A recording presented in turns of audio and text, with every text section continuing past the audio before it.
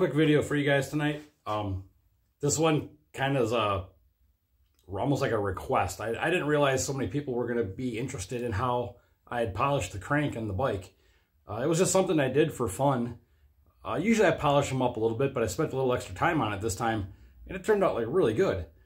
But uh, apparently people are really interested in how I did it because like I don't send my stuff out to a machine shop or I just kind of do everything in the garage and um, it just kind of works. It's, it's, it's fun to tinker and try little things and see what you can do for yourself.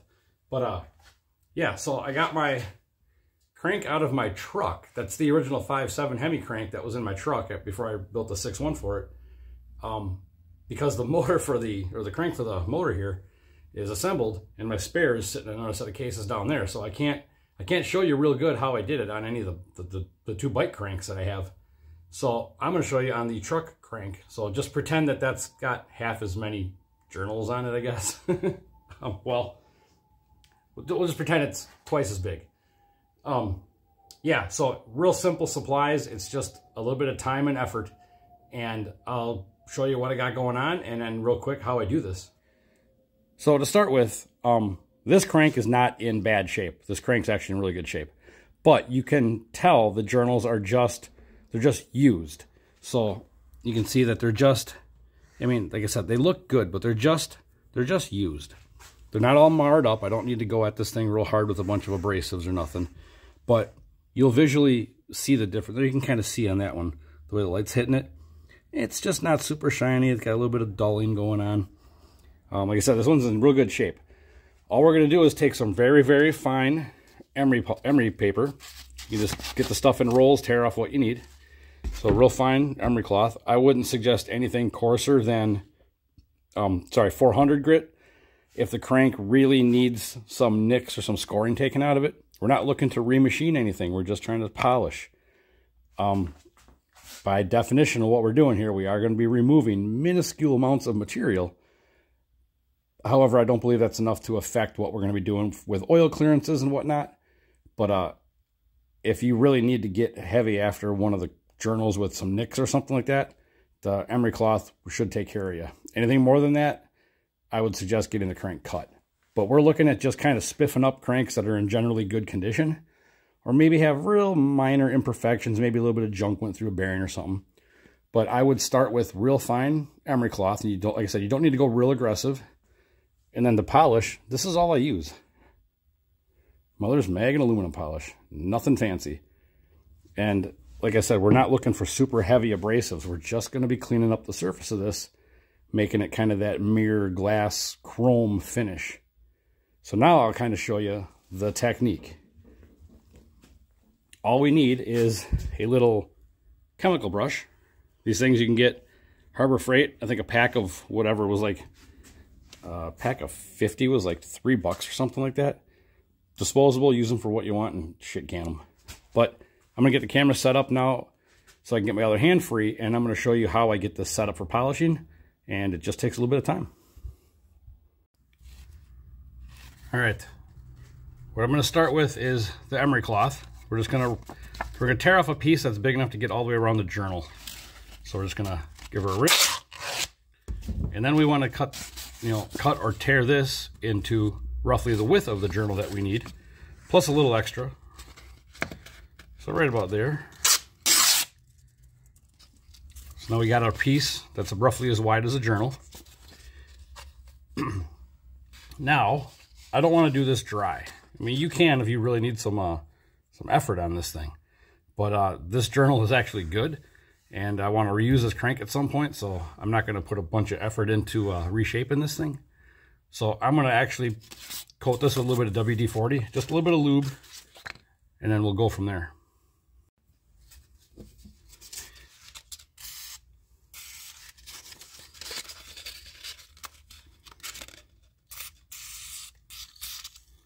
Looks like I could use a little more WD-40. What we're going to do is wrap this around the journal. Now, that's the start. Next step, all we need is a length of paracord. However long you want is up to you. But we just need to make sure we get about three to four wraps around the journal. There's one, well, one, two, There's three. And you just need enough to hold on to. Now all we're going to do is take our two ends.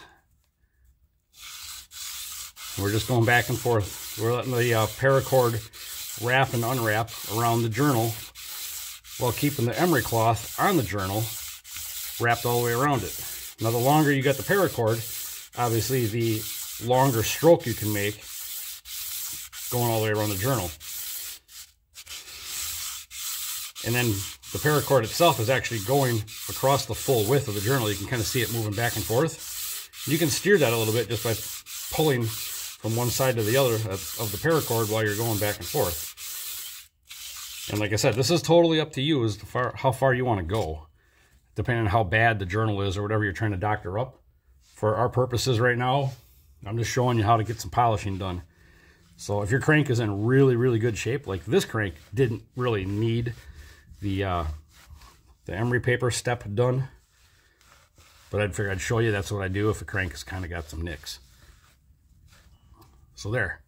We would say, okay, we got our journal looking smooth how we like it. Any imperfections are gone. Next step, take a little chemical brush and some polishing compound and just brush the whole journal all the way around side to side. You can't have too much, it ain't gonna matter. Get the whole thing covered.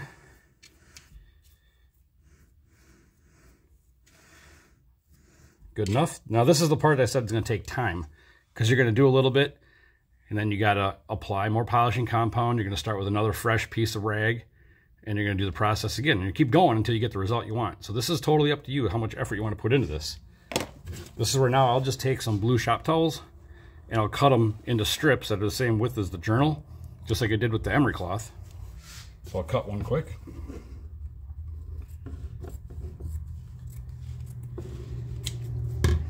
And we're gonna do the same thing. We're gonna go in here with the uh, towel, wrap it around, take our paracord, same thing. Same process, different material. Get around here two, three, four times, whatever. Ideally, I'd like a little longer paracord for this crank because the journal is so much bigger around than the bike crank. Uh, normally with this particular paracord, I can go one more wrap on the bike journal, and they're also narrower, so I'm basically almost the full width across in paracord, and that way you get full coverage with the uh, the paracord itself going side to side. Make sure you get a good polish, good even polish. Now it's going to start out kind of goopy because you got a lot of polish in there. And I'm using this real light pressure, just enough to get that thing to spin. And just keep going back and forth. And every once in a while, the paracord or the rag will get all wadded up and under the paracord, and it'll turn into a mess. Just start over. But we'll go a little bit until we feel the polish, polishing compounds pretty much wore out. Then you'll feel like very little to no resistance on that rag. But we'll go at it for a little bit. Ain't gonna hurt, because by the time I reuse this crank, I'll probably do all this polishing again anyways. So we're just getting a head start on one journal.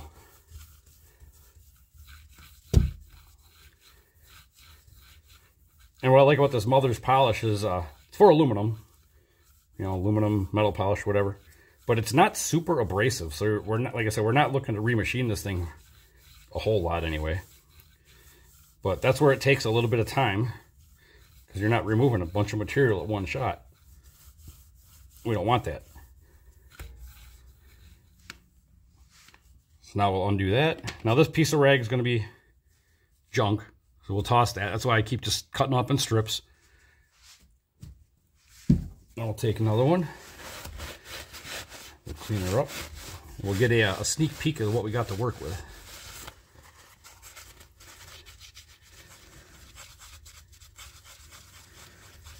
It's already noticeably better than the other ones on the crank.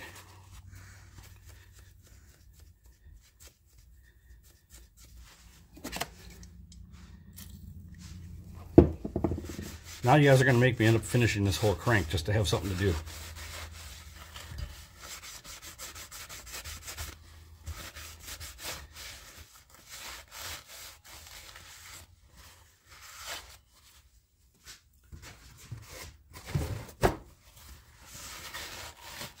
just trying to get the rest of the uh, polishing compound off so you guys get the, uh, the full effect of what it actually looks like.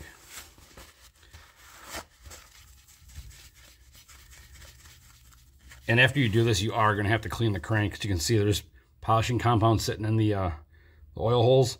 You can't have that. This thing's going to have to get sprayed out and hosed down and really cleaned up.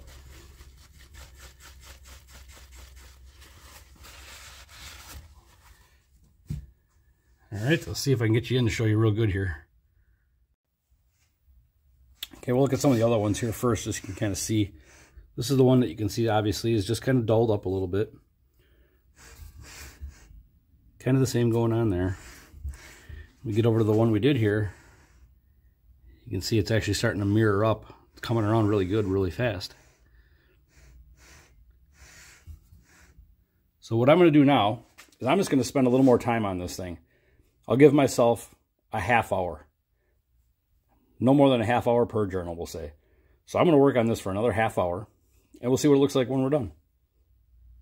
So here we are, a half hour later, and just from this angle itself, you can just about see the difference in them journals between the one I polished and the one that's, or the ones that are not. Try to get you in close here. See that surface? I mean, it's smooth just not quite mirror polish finish. Then we got this guy. You can almost see the difference just in the quality of the reflection.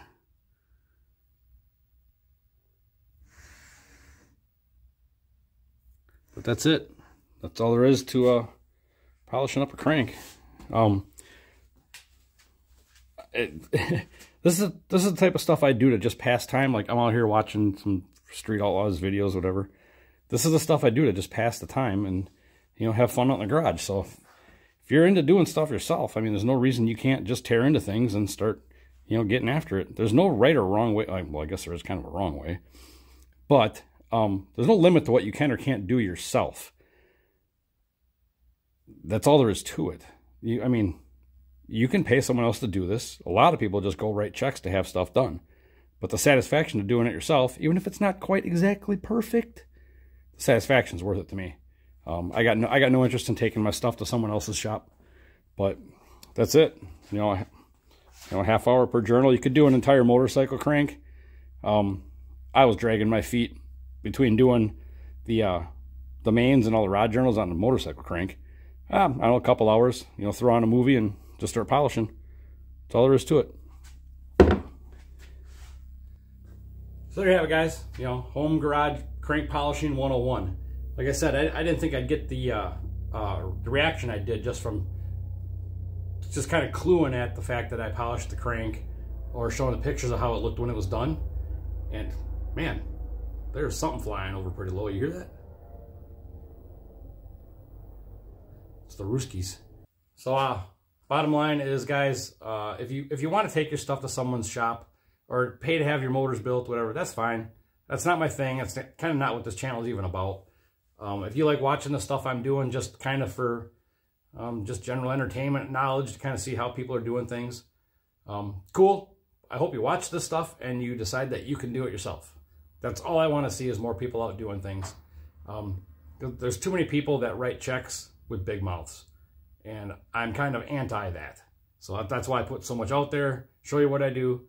And uh, we got to keep it light. We got to have fun. Uh, that's why we do these things. This whole this whole thing is a hobby. But for now, I'm done. I'm gonna try to get another video done as soon as my rings show up. I think you're gonna really dig my uh, info on piston ring and hone finish. And uh, if you think you know hand polishing a crank was funny, uh, you should see how I deck and uh, flatten my head and block. So I maybe I'll do a video on that.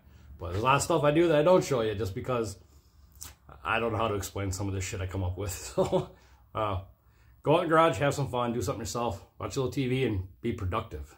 So, uh, see you in the next one.